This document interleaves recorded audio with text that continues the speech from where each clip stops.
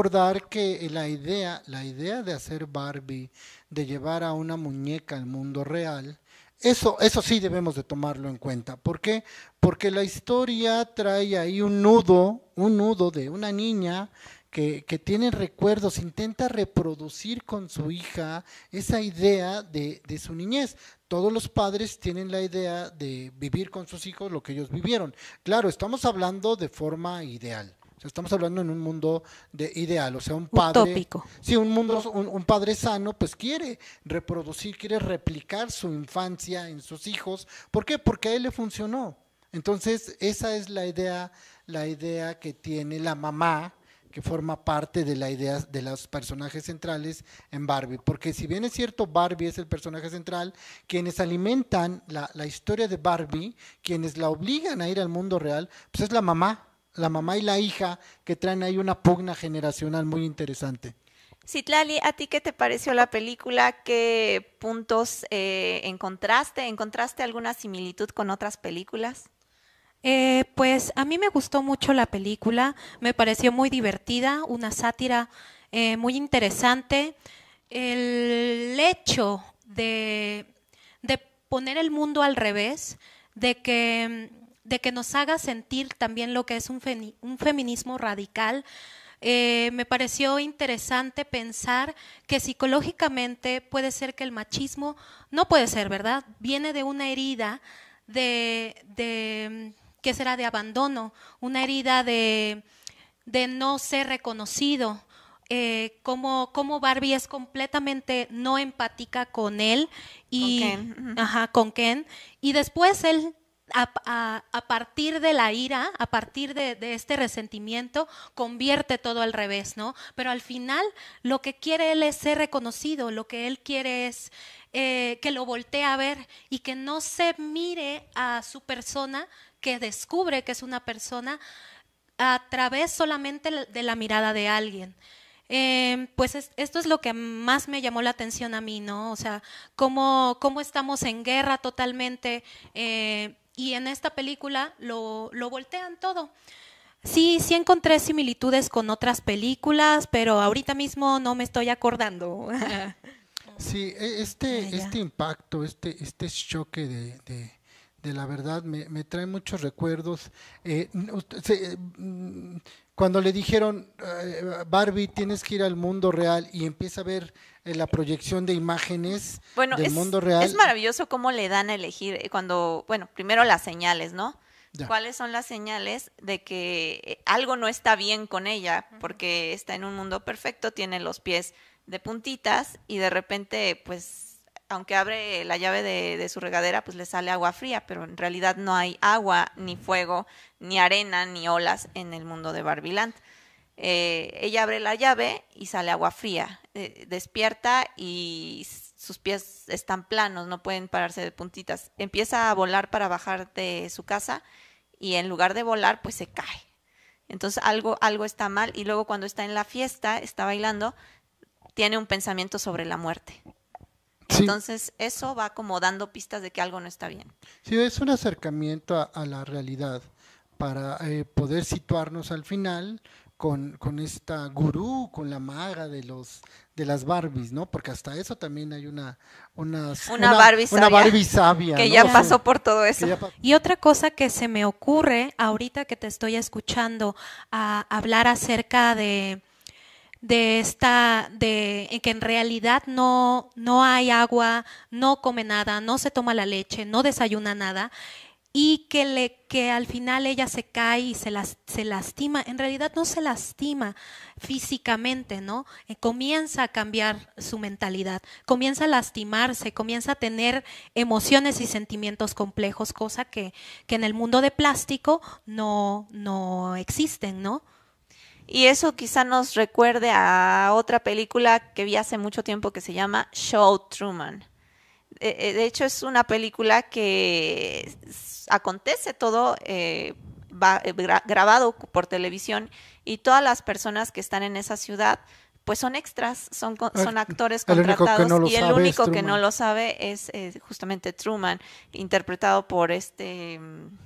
No, ahorita me acuerdo, pero Jim Carrey. Jim Carrey. Jim Carrey. Está muy buena. Fíjate que cuando está Barbie para tomar la decisión de quedarse en el mundo imaginario, en su mundo ideal, y o transitar al mundo real, eh, en su cerebro, en su memoria, pasan imágenes aleatorias del mundo.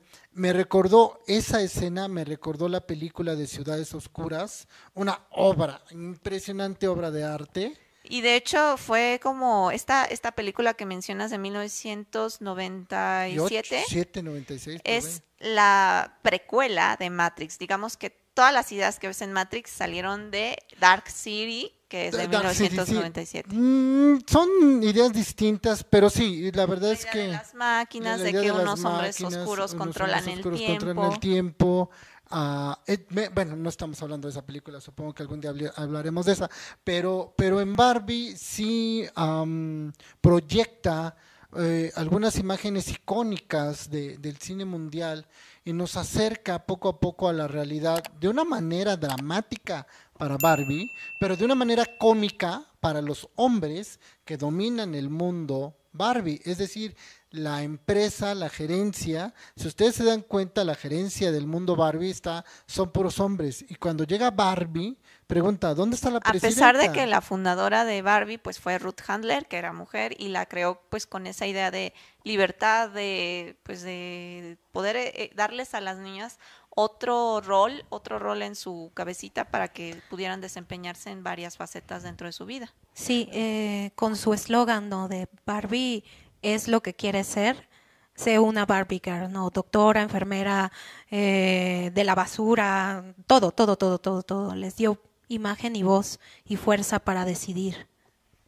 Eh, otro dato curioso cuando, bueno, a mí me encantó mucho el inicio de la película y pues está basado justamente en Odisea Espacial 2001 dirigida por Stanley Kubrick. Sí, dirigida por Stanley Ese amanecer, eh, bueno, ese esas cavernas, ese paisaje de, de los simios, con, este, comparado pues ahora con las niñas que jugaban con bebés, a ser mamás, a cocinar, a cambiar pañales y a todo lo, lo, del rol. Estuvo genial, me encantó. Me encantó la así niña habló Zaratustra o así hablaba Zaratustra. Es impresionante esa apertura, increíble. No tuve la oportunidad de ver si era de de este alemán, ay, ya se me fue su nombre, ahorita les digo, pero bueno, así hablaba Zaratustra, impresionante apertura para, para la película de, de Barbie, todo un contexto social, una crítica, el hombre queda como un accesorio, pero al final, en un diálogo de dos, porque al final es Barbie y Ken, porque todas son Barbies y todos son ¿Hubo algo que te dejó en shock, Jorge? Eh, mira, toda la película me tuvo, me tuvo bastante entretenido. En shock me, me quedé eh, cuando Barbie comienza a ponerse tiesa y se queda boca abajo porque no quiere ser eh, persona, que quiere seguir siendo mujer. Que se abandona. Y, cuando dice, ¿qué tengo aquí? le dicen, ah, es celulitis. Celulitis, no te preocupes. No te preocupes. Entonces, esa parte sí me, me, me dejó bastante, eh, digamos que alteradito en ese momento.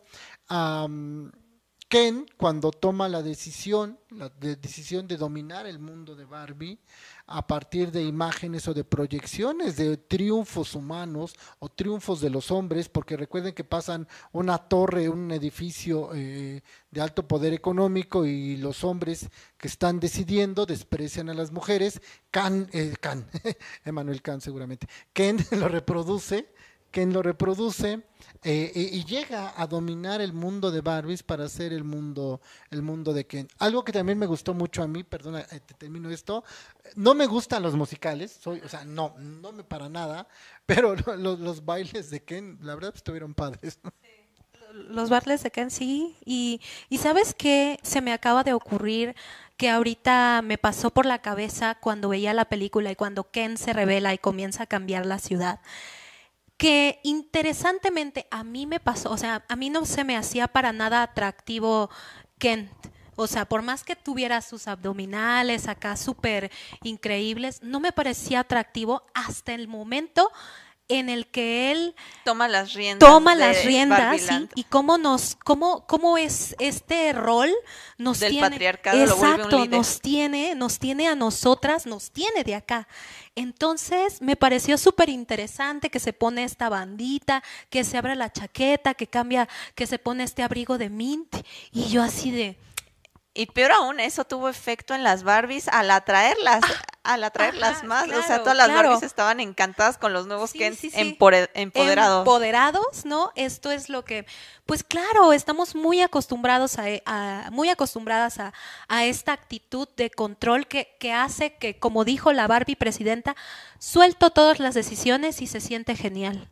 Y yo, ok, ok, ok, ok, hace un efecto en ellas, pero también me está pasando en este momento. A todas nos ha pasado en algún momento. Quiero decirte que yo, yo lloré en dos ocasiones con, con al ver la película de Barbie. En una de las ocasiones fue justamente cuando dice el diálogo de que ser mujer realmente en la vida real es muy difícil, hay que cumplir muchos roles, pues la sociedad nos presiona demasiado a ser amables, pero no demasiado amables porque eres facilota, a ser este duras, pero no tan duras porque entonces eres amargada. Y entonces ese rol que seas delgada, pero no tanto porque estás desnutrida, que seas que seas que sonriente, pero no tanto porque pareces tonta. Son muchísimas cosas, muchos estándares. Es el monólogo de la mamá, ¿no? La mamá está expresando eso y eso es lo que va eh, bueno, reordenando o reubicando el cerebro de las Barbies para volver a ser Barbies, dejar eh, de estar sumisas al patriarcado que acababa de imponer eh, Ken.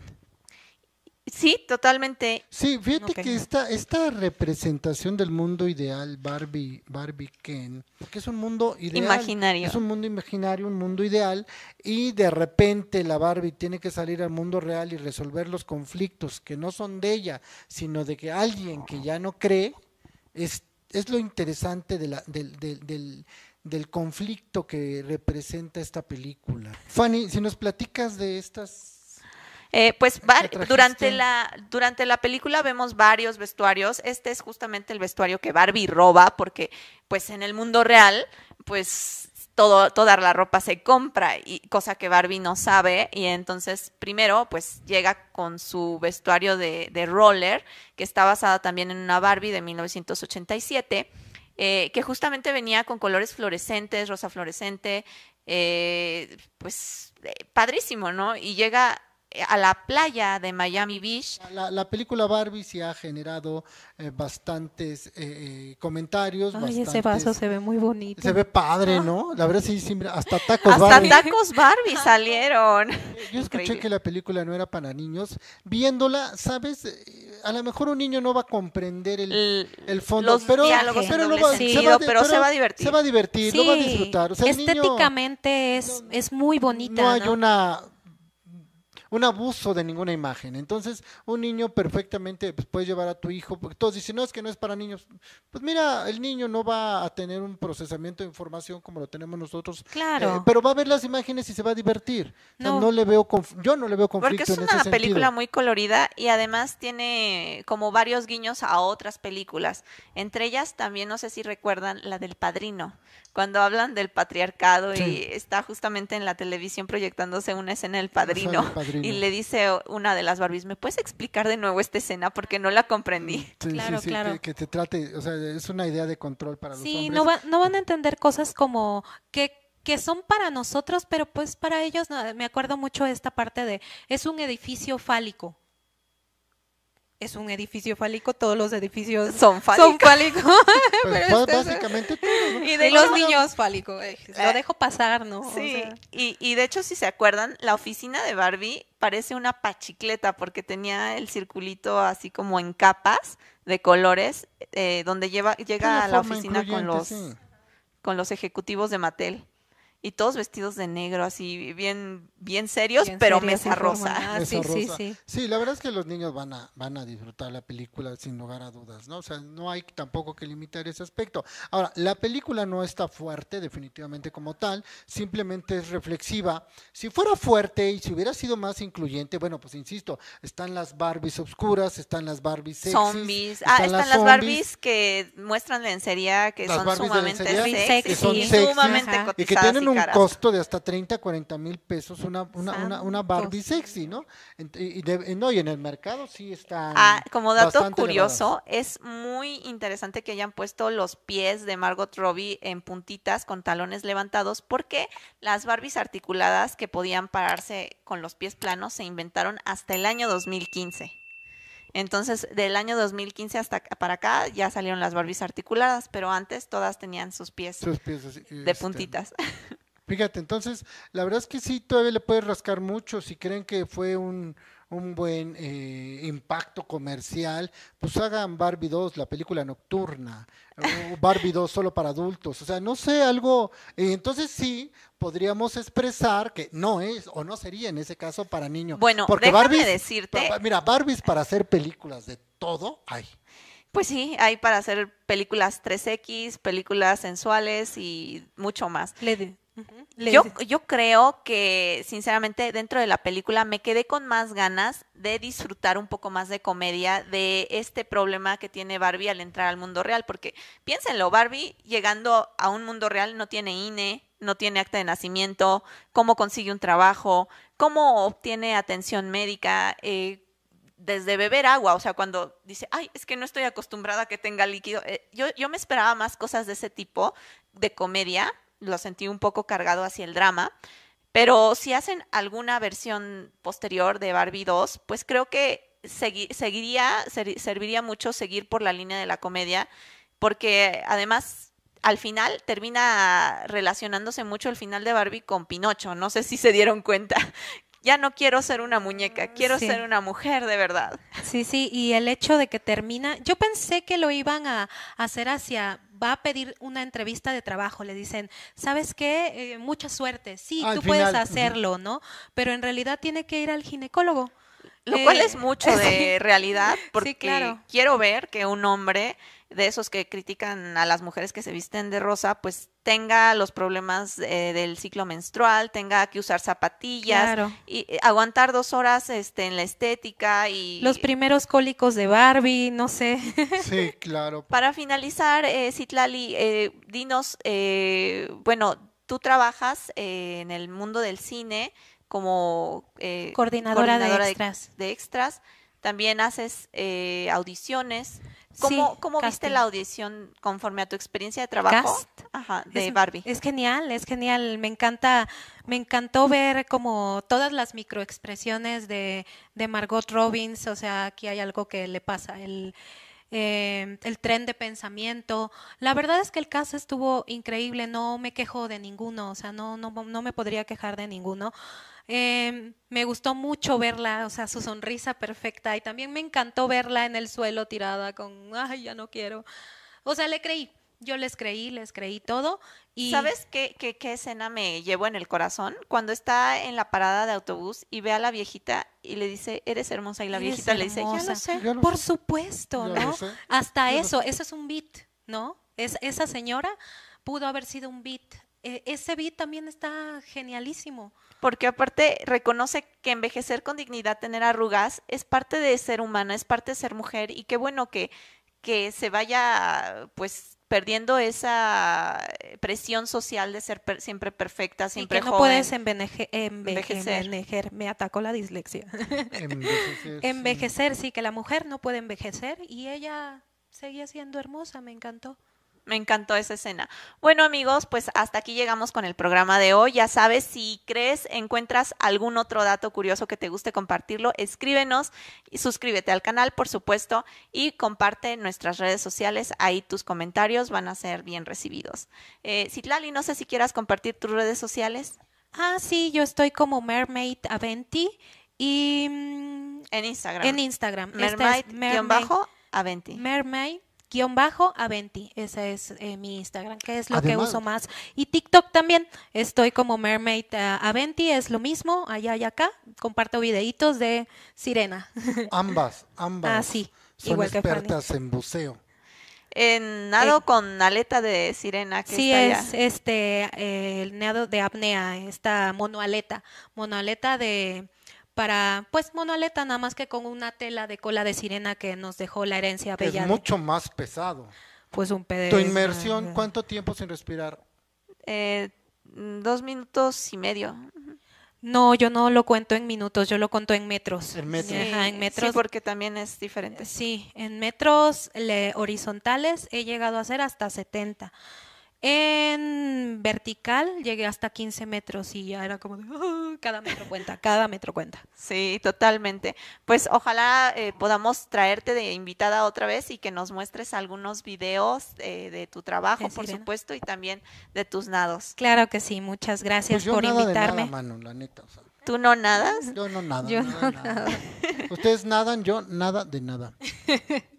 Bueno, pues con esto nos despedimos, chicos, ya lo saben. En Instagram estoy como arroba guaufani y en Facebook como Estefanía Franco, la fresita del barrio. Nos vemos la próxima semana y gracias. Gracias.